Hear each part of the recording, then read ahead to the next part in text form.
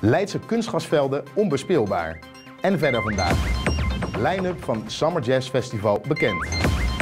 En een 3 oktober hutspot groeit op het stadhuis.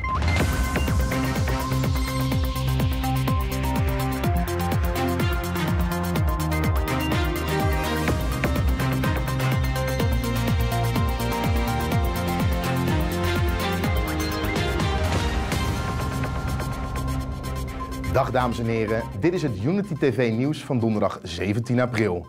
De kunstgasvelden van Luchtdunum, Dokos, GHC en Pernix zijn volgens de sportverenigingen onbespeelbaar.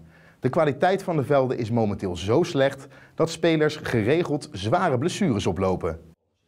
Veel Verstraten, de voorzitter van Luchtdunum, maakt zich ernstig zorgen over de veiligheid van zijn spelers. Het kunstgasveld van zijn vereniging ligt er al meer dan 10 jaar en is nodig aan vervanging toe.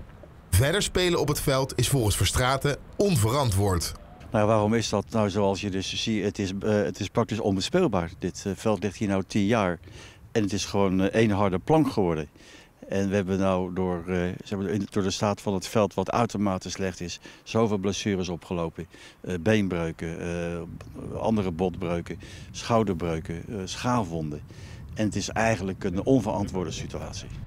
Ook bij de Leidse gemeenteraad is de slechte kwaliteit van de Leidse kunstgasvelden onder de aandacht gekomen. Zowel D66 als het CDA hebben hierover schriftelijke vragen gesteld aan sportwethouder Frank de Wit.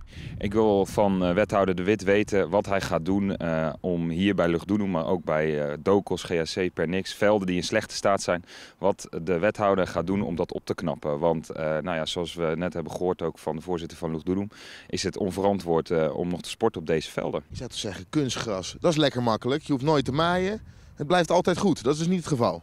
Nou ja, ik vind als je kunstgras uh, aanlegt, en dat wordt dan ook, uh, ook gedaan door de gemeente, waar we op zich wel blij mee zijn, dan moet er ook een, een onderhoudsprogramma aan vastzitten. He, en, en, zeker in dit geval een, een, een, vervanging moet er plaatsvinden. Nou, dit veld ligt hier nou tien jaar. En er is, nog steeds, uh, ja, er is nog steeds niks aan gedaan. In die zin nog steeds geen vervanging. Ook D66er Aad van der Luit heeft hierover vragen gesteld aan het college. Dat de kunstgasvelden nog niet zijn vervangen, wekt zijn verbazing. Nou, dat verbaast mij omdat acht jaar geleden hetzelfde speelde bij de hockeyvereniging Roomburg. Toen uh, werden de, vel, de, velden moeten, zoals het zo mooi heet, ISO gekeurd zijn. ISO 9100. En als die, uh, dat certificaat er niet op zit, dan zijn de gebruikers niet verzekerd. En dat is natuurlijk ja, heel gevaarlijk. want dat doen ze niet voor niks dat ze daar een keurmerk aan geven.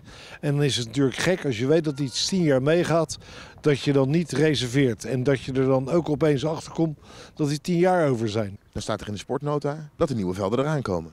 Ja, maar daar staat ook dat, uh, dat dat bijvoorbeeld voor dit veld pas over twee seizoenen zal plaatsvinden. En uh, nou ja, ik voetbal hier zelf op zaterdag en het is uh, eigenlijk niet meer te doen. Het is eigenlijk onverantwoord. En je zou de leden van Lugdunum het niet kunnen aandoen om nog twee seizoenen te wachten. Kost zo'n veld? Ja, dit heeft toen gekost iets van 6 ton. En dat heeft u niet meer in de achterzak zitten? Dat hebben we niet in de achterzak. In deze tijd zijn we wel blij als vereniging dat we de zaak rond kunnen draaien. De sportverenigingen hopen dat er nog voor de start van het nieuwe seizoen geld beschikbaar komt voor nieuwe kunstgrasvelden. De verenigingen lopen namelijk het gevaar dat de velden door de sportbonden worden afgekeurd. En dan wordt spelen helemaal onmogelijk. Vanmorgen zijn er aardappelen, penen en uien geplant in de plantenbakken van het balkon van het stadhuis. Het is de bedoeling dat er genoeg groente wordt geteeld om op 1 oktober een geweldig feestmaal te serveren. De Ideewinkel wil met dit initiatief inwoners inspireren om eetbaar groen in Leiden te kweken. Zonnige balkons zijn heel geschikt voor het telen van groenten en kruiden. Het Leidse bedrijf Herema heeft samen met het Franse Technip een miljardenklus binnengesleept in Angola. Zij zullen het onderwaternetwerk gaan ontwerpen en installeren voor olie- en gaswinning. Dat is nodig om het Kamobo-veld te ontginnen. Het project zou Herema Technip Alliantie 3,5 miljard dollar op gaan leveren. Bewoners en voorbijgangers van de Haarlemmerstraat in Leiden werden woensdagavond opgeschrikt door de brandweer, die met groot materieel uitrukte. Er zou brand zijn op het dak van één van de woningen. Gelukkig bleek het loos alarm. Waarschijnlijk is het een box bouwstof, aangezien voor rook. De Leidse fotograaf Koen Hauser mag zich een jaar lang fotograaf des vaderlands noemen. Stichting Fotoweek riep deze eretitel in het leven ter promotie van de Nederlandse fotografie. Naast exposities van vrij werk fotografeert Koen reclamecampagnes van grote merken, portretteert hij beroemdheden en verschijnen zijn foto's regelmatig in magazines. Zondag 1 juni is het weer tijd voor de vierde editie van het Summer Jazz Festival. Na de uitverkochte editie van vorig jaar heeft de organisatie de lat nog extra hoog voor zichzelf gelegd. Vandaag nam IJsbrand Oldhof, directeur van Summer Jazz, alvast een kijkje op het festivalterrein. Op het veld wordt nu nog gespeeld door een groepje honden. Op 1 juni staat hetzelfde veld klaar voor het festival, waarvan sinds vandaag de programmering bekend is. Ja, nou zijn zeker bekend. Uh, we hebben José James, maar we hebben ook Antiballas en we hebben dit jaar Rokia Traoré. Dat zijn de grote namen. Uh, vertel eens iets meer over hun. Wordt het swingen? Ja, wordt zeker swingen. Uh, met José James uh, gaan we weer wat meer de voetjes aan de vloer. Met Rokia Traoré helemaal. Dus een Malinese zangeres die vooral zorgt voor zang en dans. En met Antiballas, dat is een afrobeat. En daar gaan de voetjes echt van, van de vloer. De kracht van Summer Jazz zijn niet alleen de grote artiesten op het hoofdpodium. Het festival heeft een naam hoog te houden met het programmeren van nog relatief onbekende, maar baanbrekende acts. Ja, ik denk dat uh, Gallow Street Brass Ensemble absoluut uh, voor een uh, verrassing gaat zorgen. daarnaast de Cool Quest, maar ook Gogo Penguin, een, een bandje uit, uit Engeland. En van hen hebben we eigenlijk grote verwachtingen dat het grote publiek ze nog niet kent, maar wel gaat omarmen. Na het grote succes van vorig jaar kent het festival wat veranderingen. Niet qua uitstraling, maar het festival wordt wel groter. Ja, het grote podium is achter ons. Uh, dat wordt uh, groter dan vorig jaar en ook een mooiere aankleding. Uh, dus daar zijn we heel trots op. daar komen de grote artiesten te staan. En verder hebben we natuurlijk ook heel veel cultuur. Dus er komt ook een, een cultuurpodium aan de, aan de zijkant van het veld. en daar gaan we echt heel veel meer aandacht aan schenken dan afgelopen jaar. Een van de weinige minpunten van vorig jaar was het gebrek aan eetentjes. Hieraan is dit jaar iets gedaan. Nou, we hebben sowieso meer aanbieders dan vorig jaar. En een aantal aanbieders die gaan ook uh, dubbelen in capaciteit. Uh, en uh, we verwachten geen enkel probleem meer. Wie op 1 juni het festival wil bezoeken, kan een kaartje kopen op de website van Summer Jazz. Aan de deur is dat natuurlijk ook mogelijk.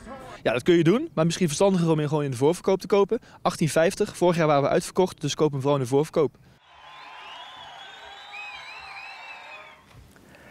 En dan nog het weer. Vandaag was er zon en hier en daar wat sluierbewolking.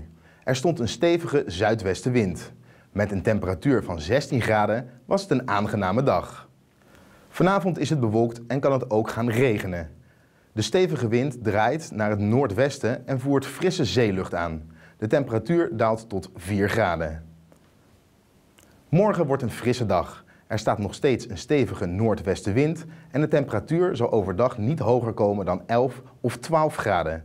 Verder zijn er vrij veel stapelwolken en is er kans op een lichte regenbui. In het paasweekend zal het kwik stijgen naar een temperatuur van rond de 18 graden. De stevige noordoostenwind houdt aan. Het wordt wel wat wisselvalliger en er kan hier en daar een bui vallen. Heb je trouwens zelf nog een mooie foto van het weer? Stuur hem dan op en wie weet zie je je foto terug in onze uitzending. Mailen kan naar redactie@unitytvnieuws.nl. Tot zover deze uitzending van het Unity TV Nieuws. Vrijdagmiddag om 5 uur melden wij ons weer met een nieuwe uitzending. En in de tussentijd houden we op de hoogte van het laatste nieuws via Unity FM op 105.7 FM en via onze website unity.nu. Zometeen kun je op Unity TV nog kijken naar het nieuws uit binnen- en buitenland in de NOS Nieuwsminuut.